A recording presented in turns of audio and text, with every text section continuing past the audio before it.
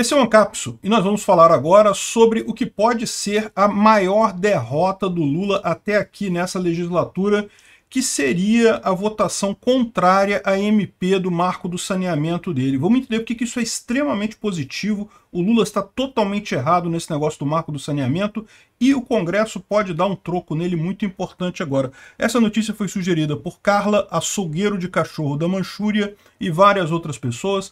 Obrigado aí ao pessoal que sugeriu a notícia, obrigado a você que está assistindo o nosso vídeo. Se você gosta do nosso conteúdo, por favor, deixe o seu like e se inscreva aqui no canal. Né?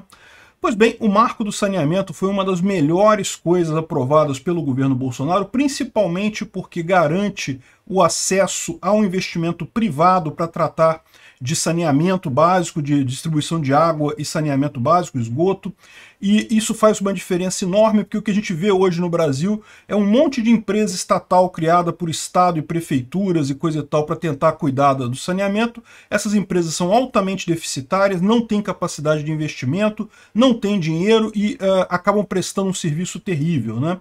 Então, o que fez o marco do saneamento garantiu a isonomia, ou seja, você pode ter uma empresa estatal para prestar o serviço de água, saneamento e coisa e tal, mas ela vai ter que participar de uma licitação em pé de igualdade com empresas é, é, iniciativa privada, com empresas privadas que têm poder de investimento. E nesse caso, as estatais todas perdem, né?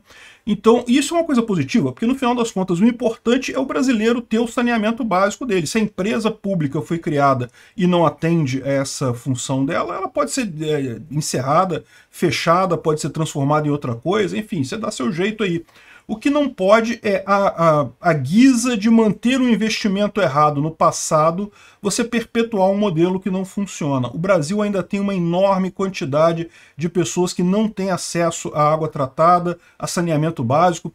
Aqui do Rio de Janeiro, a, a nossa realidade é, é, muito acima da média do, do país. Tá? Quando você vai eu falo isso porque eu, eu vejo o pessoal aqui do Rio não tem a noção de quanto no Nordeste você tem ainda cidades inteiras que você não tem esgoto em lugar nenhum, que todo o esgoto vai para córrego e vai para o mar. É muito lugar no Nordeste que tem isso, no Norte também. Então é muito importante você ter um saneamento básico que evita doença, evita um monte de problema. É, tem o, o, fator ambiental também, você tem a, a, a, vantagem ambiental. Então, o marco do saneamento estipulava um prazo de até 2033 para que 90% das cidades no Brasil, 90% da população brasileira tivesse acesso ao esgoto, né? E 99% à água tratada. 100% nessas coisas é muito difícil, porque você tem, sempre vai ter o cara que tem um sítio no meio do nada, não tem como você fazer esgoto é, nessa pessoa, né? É, é, inviável economicamente. Aí a pessoa vai usar fossa mesmo, que é o, o padrão. Mas, assim, pelo menos para cidades, para as grandes cidades, você consegue atingir esse, esse item. Agora, é fundamental um investimento nessa área. Então, o marco do saneamento já representou um enorme aumento no investimento nessa área, já teve várias, já tem várias empresas entrando nisso daí, várias empresas se modernizando, as melhores empresas, mesmo as públicas, como a Sabesp em São Paulo, a Copasa em Minas e coisa e tal, elas estão se modernizando para competir com a iniciativa privada. Ou seja, não tem problema nenhum ser empresa pública desde que seja eficiente. Né? Tem que conseguir é, é, é, competir de igual para igual com a empresa privada. O problema é principalmente no Nordeste, em que você tem um monte de empresa estatal que virou cabide de emprego, que é, não tem serventia nenhuma, que presta um serviço terrível para a população, e que os políticos não querem se livrar dessas empresas porque está cheio de peixada lá, tem um amiguinho que está lá encostado, tem o primo que está lá encostado, o peixe que está lá encostado. Então, assim, não, é, eles não querem acabar com essas empresas lá. Esse é o problema todo.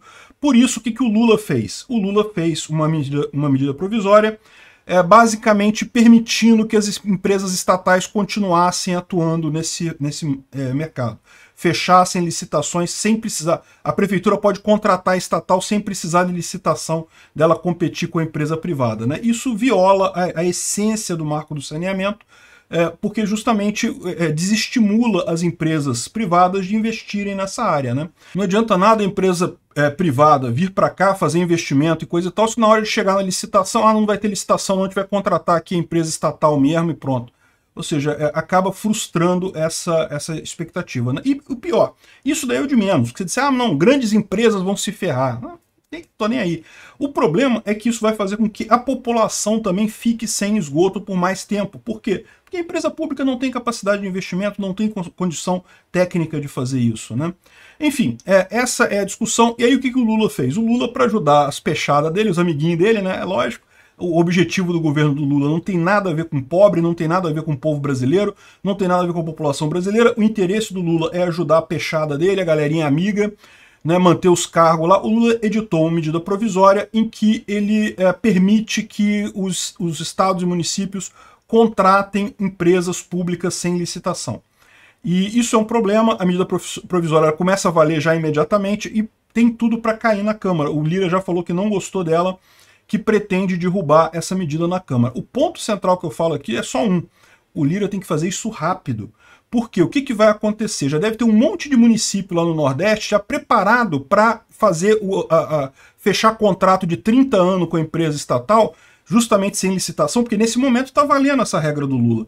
Então o município vai lá, assina com a empresa, aí depois, quando derrubarem MP, o que, que vai acontecer? Ah, não vou alegar que. Ah, não, já fiz o contrato, já assinei o contrato, então agora está valendo por 30 anos, não pode quebrar o contrato e coisa e tal. Então o Lira tem que fazer isso, tem que fazer isso rápido, para não dar tempo de muitos municípios fazerem isso no Nordeste, né? De qualquer forma, isso acontecendo vai ser a maior derrota do governo. O governo já está colhendo um monte de derrotas dentro da Câmara, dentro do Senado, né? A CPMI do dia 8 de janeiro não conseguiu derrubar, um monte de coisa que, tá, que queria organizar não conseguiu, o Lira está com uma força muito grande lá, e agora, essa vai ser, se acontecer também, porque né, a gente está falando aqui que está tudo armado para acontecer. O Lira já deixou claro que é contrário a essa medida provisória, que vai receber ela, vai é, negar, vai, é, pode até botar em votação, mas vai ser votar para é, encerrar ela, né? E uh, tem tudo para ser a primeira grande derrota do governo nessa, nessa, nessa legislatura. Isso vai ser muito bom, porque isso vai abrir espaço para outras derrotas. Tem um monte de outras leis que o Lula está querendo fazer aí, de outras medidas provisórias, que são altamente questionáveis. Né?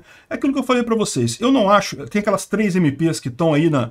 que tem que ser votado até o final de abril e coisa e tal, que é da, da, estrutura, da estrutura dos ministérios, do Bolsa Família e do Minha Casa Minha Vida. Os deputados não vão querer mexer nisso, vão aprovar essas MPs de qualquer forma. Mas tem outras que não são tanto. Essa daqui é uma que dá para quebrar. E tem outras também, tá? Tem outras também, a questão do voto do CARF, lá o voto de desempate do CARF. Tem um monte de coisa que dá para o Lula perder nesse negócio. E o bom dele começar a perder essas coisas é que quanto mais ele perde, maior é a tendência dele continuar perdendo nesse Congresso e perder o controle totalmente do governo, né? Então parece que o Lira já articulou tudo, já está tudo certo para derrubar essa MP assim que começar a tramitação dela. O, uh, o próprio governo teme essa primeira derrota em articulação de Lira no marco do saneamento, mas é muito importante o tempo nesse negócio, isso que você tem que ver. Se o Lira for levar um mês para fazer esse troço, aí não adianta nada, porque o que vai acontecer é que os municípios lá do Nordeste todos vão fechar a licitação, vão fechar contrato com essas empresas públicas nesse período de validade da MP e não vai ter efeito nenhum isso daí na prática. Né? Então eu espero que o Lira consiga essa vitória e consiga rápido de qualquer forma. Obrigado por assistir o vídeo até o final.